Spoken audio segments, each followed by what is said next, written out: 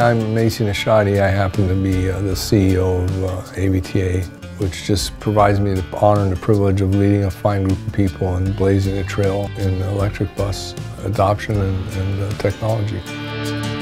We placed our first order for BYD electric buses in 2016.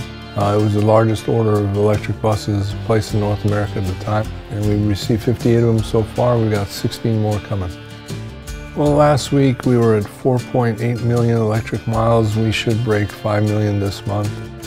Our favorite aspects of the BYD bus is a really good range, very dependable bus. It's got great seating capacity. They're very maneuverable. They're very quiet. Great experience for our riders.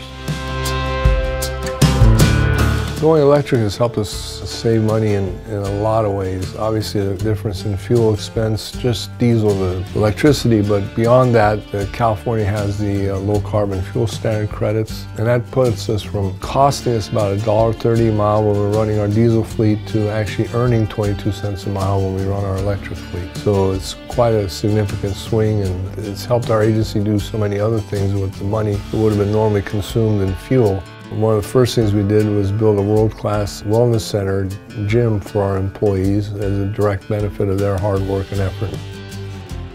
My name is Tynesha Johnson and I'm a customer service rep. I love my job, I love the facility, we're like a family. I love the gym. My dreams were answered. BYD electric buses have helped our community in so many ways, it's, it's hard to measure all of it. What I encourage all my fellow general managers, CEOs, is to put fear, uncertainty, and doubt away and move forward with proven technology